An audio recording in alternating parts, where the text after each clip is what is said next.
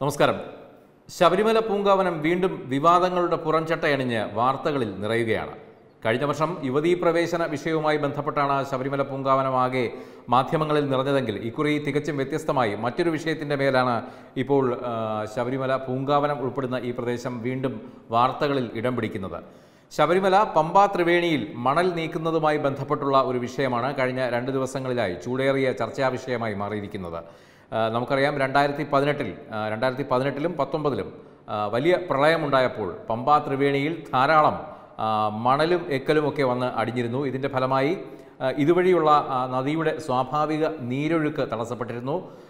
അതുപോലെ തന്നെ ഈ കഴിഞ്ഞ തീർത്ഥാടന കാലഘട്ടങ്ങളിലൊക്കെ പമ്പയിൽ മുങ്ങിക്കുളിക്കുക എന്നൊരു പരമ്പരാഗത ചടങ്ങിന് അതൊരു വിഘാതം സൃഷ്ടിക്കുന്ന രീതിയിൽ ഈ മണൽപ്പരപ്പ് മാറുകയും ചെയ്തു. കാര്യം അവിടെ മുങ്ങിക്കുളിക്കാനുള്ള വെള്ളം ഇല്ലായിരുന്നു കോരിക്കുളിക്കാനുള്ള വെള്ളമായിരുന്നു. കാര്യം ഈ മണൽപ്പര പരപ്പിന്റെ മുകളിലൂടെ വെള്ളം ഒഴുകി പോകുന്ന ഒരു സ്ഥിതിവിശേഷമാണ് ഉണ്ടായിരുന്നത്.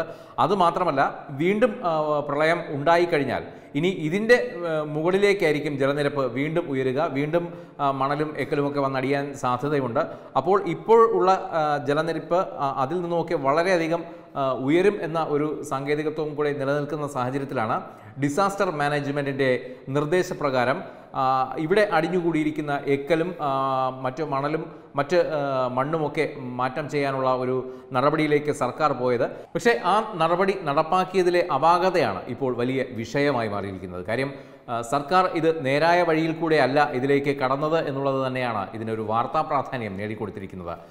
കണ്ണൂർ ആസ്ഥാനമായുള്ള കേരള സിറാമിക്സ് എന്ന ഒരു കമ്പനിക്ക് കേരള ക്ലേ ആൻഡ് സിറാമിക്സ് എന്ന കമ്പനിക്കാണ് ഇതിന്റെ ഒരു ടെൻഡർ നൽകിയിരിക്കുന്നത്. പക്ഷേ ഇപ്പോൾ ഈ വിഷയത്തിൽ വളരെ ശക്തമായി മുന്നോട്ട് വന്നിരിക്കുന്നത് തിരുവാഭരണ സംരക്ഷണ സമിതി ആണ്. ശബരിമല തിരുവാഭരണ സംരക്ഷണ സമിതി വളരെ ശക്തമായ ആരോപണവുമായി സർക്കാരിനെതിരെ വളരെ ശക്തമായ ആരോപണവുമായി മുന്നോട്ട് വന്നിരിക്കുകയാണ്. അവർ പറയുന്നതനുസരിച്ചാണെങ്കിൽ ഈ ഈ ടെൻഡർ നടപടികൾ പൂർത്തിയാക്കി ഇതിന്റെ പണി നടത്തേണ്ടിയിരുന്നത് ഈ മഴക്കാലത്തിന് മുമ്പാണ്. എങ്കിൽ മാത്രമേ മഴക്കാലത്ത് ഈ പമ്പയിൽ കുത്തൊലിപ്പുണ്ടായാൽ മലവെള്ളപ്പാച്ചിലുണ്ടായാൽ ഈ പറയുന്ന സ്വാഭാവിക നീരൊഴുക്ക് നദിയുടെ സ്വാഭാവിക നീരൊഴുക്ക് സാധ്യമാകുകയുള്ളൂ. വലിയ തോതിൽ വെള്ളപ്പൊക്കം ഉണ്ടാകാതെ അതിനെ തടയാൻ പറ്റുമായിരുന്നുള്ളൂ. പക്ഷേ ഇപ്പോൾ അങ്ങനെയല്ല. മഴ തുടങ്ങിയ ഈ സാഹചര്യത്തിലാണ് പണി നടത്തുന്നത്. ടെൻഡറിൽ പറഞ്ഞിരിക്കുന്നത് തന്നെ അടുത്ത നവംബർ ഇരുപതിന് മുമ്പ് ഈ പണി പൂർത്തിയാക്കണമെന്നാണ്. നമുക്കറിയാം മണ്ഡലകാലം ആരംഭിക്കുന്നത് നവംബർ പതിനാറിനാണ്. അപ്പം ആ ഒരു കാലയളവ് കാട്ടിയാണ് ഇപ്പോൾ ഈ കമ്പനിക്ക് കരാർ നൽകിയിരിക്കുന്നത്. പക്ഷേ ഇതിന്റെ ആ, യാഥാസ്ഥിതികതയിലേക്ക് നോക്കുകയാണെങ്കിൽ ഈ പണി നടത്തേണ്ടിയിരുന്നത് ഈ ഒരു മഴക്കാലത്തിന് മുമ്പാണ്. നമുക്കറിയാം ഇനിയുള്ള രണ്ട് മാസങ്ങളിൽ കനത്ത മഴയായിരിക്കും പത്തനംതിട്ട ജില്ലയിൽ ഉടനീളം രേഖപ്പെടുത്തുക. സാധാരണഗതിയിൽ പശ്ചിമഘട്ട മലനിരകളുടെ താഴ്വാരമായ ശബരിമല മഴക്കാടുകളാണ്. അപ്പോൾ ഈ മഴക്കാടുകളിലൊക്കെയും മൺസൂൺ സീസണിൽ പിരിമുറിയാത്ത മഴ തന്നെയാണ് ലഭിക്കുന്നത്. അക്കണക്കിന് നോക്കുകയാണെങ്കിൽ വലിയൊരു വെള്ളപ്പൊക്കത്തിനുള്ള സാധ്യത ഇനിയും നമുക്ക് തള്ളിക്കളയാനാവില്ല. അങ്ങനെ ഇരിക്കെ ഈ പണി എന്തുകൊണ്ട് നവംബർ ഇരുപത് വരെ നീട്ടിയെന്ന് കരാറിൽ കാണിക്കുന്നു? അപ്പോൾ ഇതിൽ തന്നെ എന്തോ ഒരു അസ്വാഭാവികത ഉണ്ട് എന്ന് തന്നെയാണ് തിരുവാഭരണ സംരക്ഷണ സമിതി ചൂണ്ടിക്കാട്ടുന്നത്.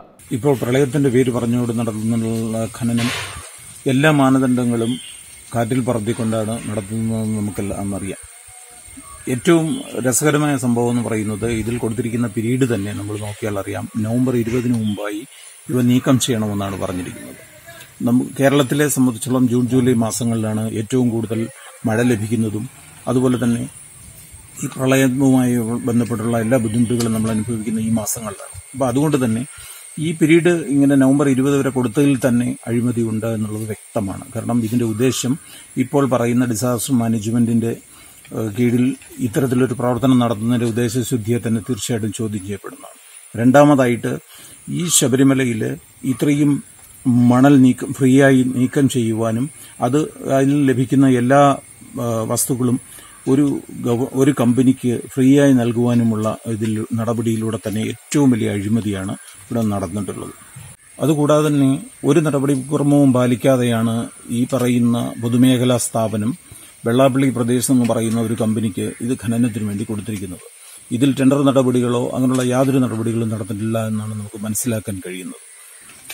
ഈ ഇത്തരം ഒരു പ്രവർത്തനത്തിലൂടെ കേവലം മണൽ കൊള്ള മാത്രമല്ല ഈ മണലിൽ നിന്നുള്ള അയിരുകളോ അല്ലെങ്കിൽ അതുപോലുള്ള മറ്റ് ലവണങ്ങളോ മറ്റുള്ള പദാർത്ഥങ്ങളോ ആണ് ഇവർ ലക്ഷ്യം വെക്കുന്നത്.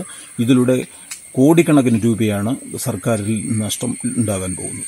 നിർമ്മാണ പ്രവർത്തനങ്ങളുടെ പേരിൽ അത് റോഡായാലും പാലങ്ങളായാലും അതുപോലെ തന്നെ മറ്റുള്ള എല്ലാ ബിൽഡിങ്ങുകളും അതുപോലുള്ള നിർമ്മാണ പ്രവർത്തനങ്ങളുടെ പേരിൽ മാത്രം ആയിരത്തി അഞ്ഞൂറിലധികം കോടി രൂപ പത്തനംതിട്ട ജില്ലയിൽ മാത്രം ഇത്തരത്തിൽ ചൂഷണം ചെയ്യപ്പെടുന്നതിന് പുറമെയാണ് ഇത്തരത്തിലുള്ള ഒരു വൻ അഴിമതിയുടെ ഇപ്പോൾ നടത്താൻ സർക്കാർ തീരുമാനിച്ചിരിക്കുന്നത്. അതുമാത്രമല്ല മാത്രമല്ല ഇവിടുത്തെ മണൽ ഇവിടെ നിന്ന് കടത്തുന്നു എന്നൊരു ആരോപണം കഴിഞ്ഞ ദിവസം തന്നെ പ്രതിപക്ഷം ഉന്നയിച്ചിരുന്നു.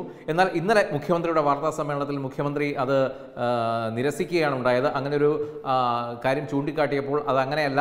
അവിടെയുള്ള എക്കലും ചെളിയും മാത്രമാണ് നീക്കം ചെയ്യുന്നത് എന്നാണ് മുഖ്യമന്ത്രിയും പറഞ്ഞത്. പക്ഷേ സംഭവം ഇതിന്റെ യാഥാർത്ഥ്യത്തിലേക്ക് കടന്നു ചെല്ലുകയാണെങ്കിൽ ഇതല്ല മണൽ തന്നെയാണ് അവിടുന്ന് മാറ്റുന്നതെന്നുള്ള ആരോപണവും വളരെ ശക്തമാണ്. എന്നാൽ മണൽ മാത്രമല്ല ഇത്തരം ലോബികളുടെ ലക്ഷ്യം എന്നതാണ് മറ്റൊരു ഇവർ ചൂണ്ടിക്കാട്ടുന്ന മറ്റൊരു പ്രധാന കാരണം. കാരണം നമുക്കറിയാം നിലയ്ക്കൽ പോലുള്ള പമ്പ പോലുള്ള പൗരാണികമായ ഒരു സ്ഥലത്ത് ധാതു ഖനനം അവിടുത്തെ മണലിൽ പലതരത്തിലുള്ള ധാതുക്കൾ അടങ്ങിയിരിക്കാം. അപ്പോൾ അത്തരത്തിലുള്ള എന്തോ ഒരു ലക്ഷ്യം വെച്ച് തന്നെയാണ് ഈ ഇത്രയും വലിയ ഒരു കരാർ. അത് നമ്മൾ ആലോചിക്കുകയാണെങ്കിൽ കണ്ണൂരിലുള്ള ഒരു കമ്പനി പത്തനംതിട്ടയിൽ വന്ന് ഇത്രയും കഷ്ടപ്പെട്ട് മണ്ണ് നീക്കം ചെയ്യുന്നതിന് പിന്നിലുള്ള ഒരു സാങ്കേതികത്വം ആലോചിച്ചാൽ തന്നെ മനസ്സിലാവും. ഇത് ചൂണ്ടിക്കാട്ടിയാണ് ഇപ്പോൾ ശക്തമായ നിയമ നടപടിക്കൊരുങ്ങി തിരുവാഭരണ സംരക്ഷണ സമിതി മുന്നോട്ട് വന്നിരിക്കുന്നത്. ഏതായാലും വരും നാളുകളിൽ നിയമസഭയിലും ഒപ്പം മറ്റ് രാഷ്ട്രീയ വേദികളിലെല്ലാം ഇത് ചൂടേറിയ ചർച്ചാ വിഷയമായി മാറും എന്ന് തന്നെ നമുക്ക് പ്രതീക്ഷിക്കാം. വെബ് ഡെസ്ക് തത്തുമൈ.